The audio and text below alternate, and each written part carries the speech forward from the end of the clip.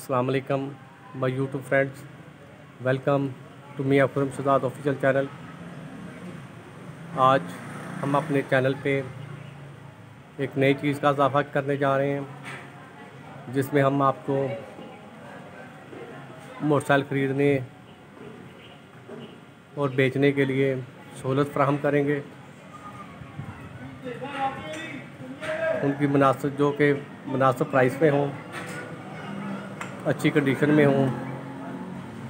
हम आपको उनका विज़िट करवाएँगे। इस वक्त मैं मौजूद हूँ मंसूराबाद में, जहाँ पे एक one two five Honda motorcycle फ़रोख्त के लिए मौजूद है। मैं आपको उसका मुकम्मल मुआयना करवाऊँगा। वीडियो को मुकम्मल देखिएगा लाइक कीजिएगा शेयर कीजिएगा कमेंट्स कीजिएगा। चैनल को सब्सक्राइब करना मत भूलिएगा। ये देखें जी मोटरसाइकिल का मैं आपको मुआयना करवा रहा हूँ। ये हसीब भाई की मोटरसाइकिल है। सी भाई ये कितने की बनेगी? ये भाई एटी फाइव थाउज़ेंड की हमने मतलब सेल करनी है एटी फाइव थाउज़ेंड इसका मांग रहे हैं पचासी हज़ार रुपया। और ये मॉडल है दो हज़ार सत्रह।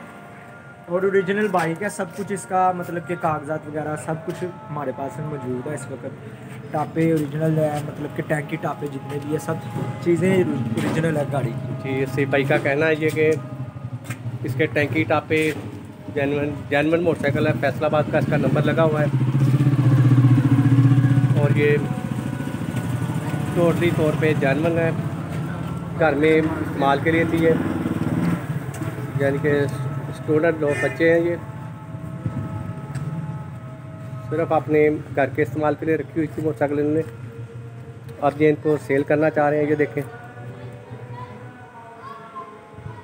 पचासी हज़ार इसका मांग रहे हैं, ये देखें, इंजन वगैरह इसका, टैंकी, टापे, ओरिजिनल है हर चीज़। इसके जो शीशे भी हैं, ये कह रहे हैं मेरे पास हैं।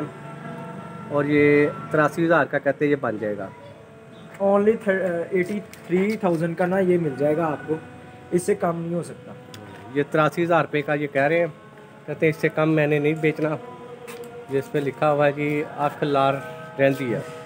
फैसलाबाद का नंबर है। Seven four nine. फैसलाबाद का नंबर है। कागज़ वगैरह सारे इसके ओके हैं। सतारह मॉडल। दो हज़ार सतारह मॉडल है ये। ये देखें इसका सलेंसर वगैरह। यानी कि घर में रखने के लिए ज़बरदस्त मोटरसाइकिल है। हर लिहाज से अच्छी है। इंजन वगैरह ओके है। बहुत ज़्यादा महँगी हो गई है।